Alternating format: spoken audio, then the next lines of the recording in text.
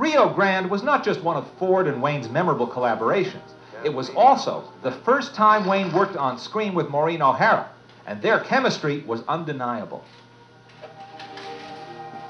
Carrying that around for a long time, hoping someday to pull a I'll little. take the flowers now.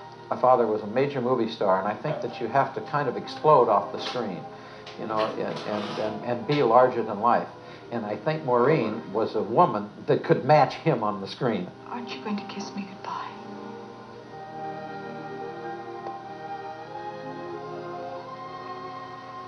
I never want to kiss you goodbye, Kathy.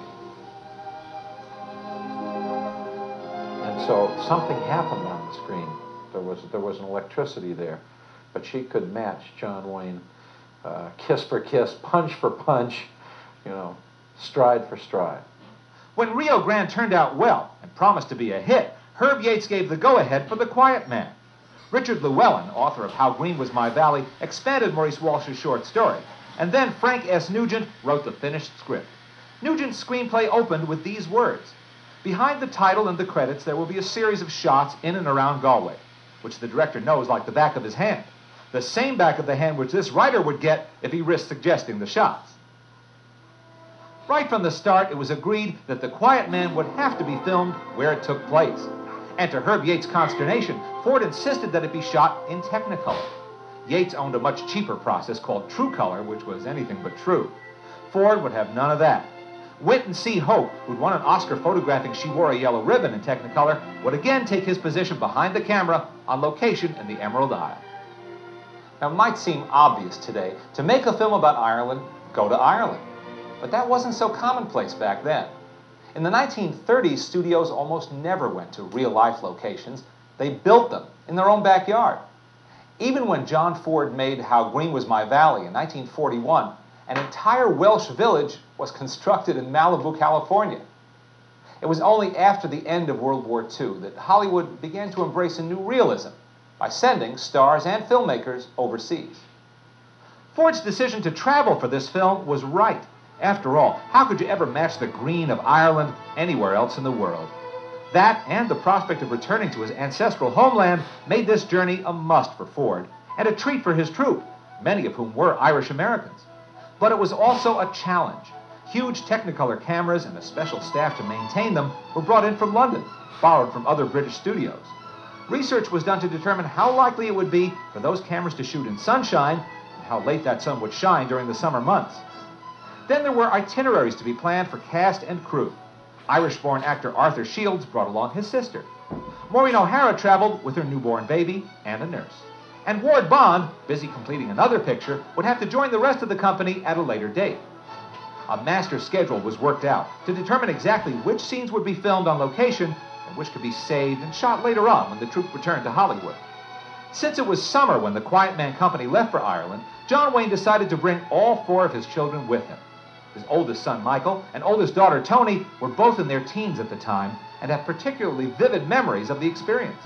We've lived in California all our lives with palm trees, and you know, all of a sudden there's a huge castle there. There's a great big river there, and it was absolutely fabulous. It didn't have a lot of the modern conveniences. My father had a bathroom. Uh, Uncle Jack had a bathroom. I think Maureen had a bathroom. And, but the rest of the crew and everybody, w- you know, we had to share like this one big bathroom area and one big shower area. And so we learned very fast that uh, if we wanted to get up in the morning and take a shower, that uh, we should not go in there early because it wouldn't do to have the crew waiting for us to get out of the shower room. Cong, which was the small town near Ashford Castle where the film was shot, the town where the film was shot, Cong got electricity while we were there. This was in 1951. Now remember they had the, the lights on the wires, you know, uh, all around the, the, the kind of the, the, the town square. And uh, people were dancing and people were very, very happy. Then they found out that they had to pay for this electricity. They said, well, hey, we don't need it, you know, get rid of it. And they really said, we, we really don't need the electricity. Uh, Ashford Castle had its own generator, but people did not have electricity, and this was 1951. What Ireland and the little village of Cong may have lacked in amenities, it made up for in charm. The townspeople were delighted to have a movie company in their midst, particularly this Irish American troupe, which mingled easily with the locals and won their hearts at every turn. The local newspaper, the Connacht Tribune, kept readers apprised of the Hollywood invasion and the visitors' colorful doings. From prop man Ace Holmes' search for an old fashioned wooden four poster bed to Ward Bond's weekend fishing exploits. Ford had already cast members of Dublin's Abbey Theater in key supporting roles, but he also called on the townspeople to add local color and a crowd to watch the climactic brawl between John Wayne and Victor McLaglen. Though if you look carefully, you'd also spot some ringers. The station master was played by John Wayne's makeup man, Webb Overlander. And wait, in this crowd shot, isn't that one of John Wayne's kids? Uncle Jack decided that he was going to use us in the film. And I think actually what he wanted was Pat, uh, yeah, Patrick and Melinda, who are in the cart with Maureen. And then I think he thought, well, you know, these other two poor souls, they need to be in it too. So he, we all dressed up in costumes, and Michael and I are standing on either side of the cart, and Maureen is uh, in the cart with Patrick and Melinda, and they have lines and everything, you know. Will you not be putting up your bonnet, Mary Kate? Indeed, I will not. No? No. Ford liked to surround himself with family when he was making a film. That was certainly true in the production of The Quiet Man. His son Patrick worked as an assistant, and his daughter Barbara served as an assistant editor on the picture. But there was another Ford in front of the camera. Francis Ford plays old Dan Tobin in The Quiet Man. He was a fixture in many of his brother's films, but this went far beyond nepotism. Back in the teens, Francis Ford was a star, the leading man in a great many films and popular serials, and it was he who led his much younger brother John, then known as Jack, into the movie business. Jack never forgot Francis's influence or his generosity. Ford's other brother, Eddie O'Fearna, was also on hand, working behind the scenes, and two of Maureen O'Hara's brothers appear in the film. One of them, James Lilburn, plays Father Paul. Charles Fitzsimons plays Forbes, and as a barrister or lawyer in real life, helped make arrangements for the company to shoot in Ireland. The Quiet Man also features two members of another distinguished Irish acting family. Barry Fitzgerald was by now a star, having received an Academy Award for his performance in Going My Way with Bing Crosby. Now he was returning to native soil, along with his brother Arthur Shields, who'd also moved to Hollywood to work for Ford in The Plow and the Stars. Then there were the members of John Ford's extended family. Like John Wayne, Ward Bond had been a football player at the University of Southern California who caught the director's eye. He became one of Hollywood's busiest character actors and one of John Ford's favorites. Another longtime colleague of Ford's was the film's co-star, Victor McLaglen. They'd first worked together in 1928 and made many films in the years since. It was Ford who steered McLaglen to an Academy Award in 1935 for his compelling performance as Gypo Nolan, the Irish turncoat in The Informer. It really does give me great pleasure to present you this award for the best performance of 1935 in The Informer. Thank you, Mr. Griffith. I can hardly find words to express my gratitude and thanks for this. Naturally, I want to thank everybody responsible for making this possible. Needless to say, I'm very happy, and I want to thank you one and all. Now, more than 15 years later, McLaglen and Ford were teamed again, with one significant change the presence of Victor's son, Andrew McLaglen, as second assistant director. Oh, yeah. Well, see, first of all, I love the idea of being on this picture. Knowing my father was in it made it doubly great for me to go. Uh, I'd already become a first assistant, uh, and there's only room for one first assistant on a picture, and that was Wingate Smith, uh, John Ford's brother-in-law.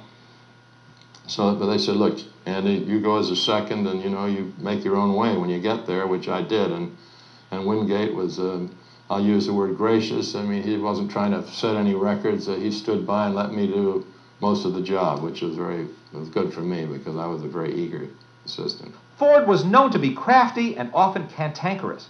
McLaglen says he got along fine with the director, but he quickly learned he'd have to be on his toes. Funny story. I mean, the first day of shooting on the uh, on the picture when we got there, Ashford Castle is all new to us, and we're all eager and we're waiting the first day. And the one thing Ford says, he said, have all the actors on the set.